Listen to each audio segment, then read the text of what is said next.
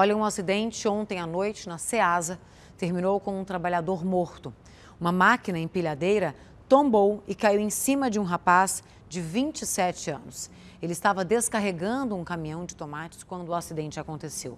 Ainda não há informações é, de quem operava o equipamento ou se, por exemplo, ele estava apenas próximo da máquina quando tombou, né?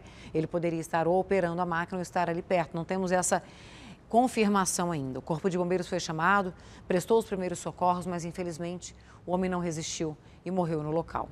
E claro, nossa equipe se solidariza com a família. Uma tristeza como essa, né? O rapaz provavelmente ele trabalhando e acabou morrendo de uma maneira tão trágica, né, gente? É uma, é uma fatalidade isso.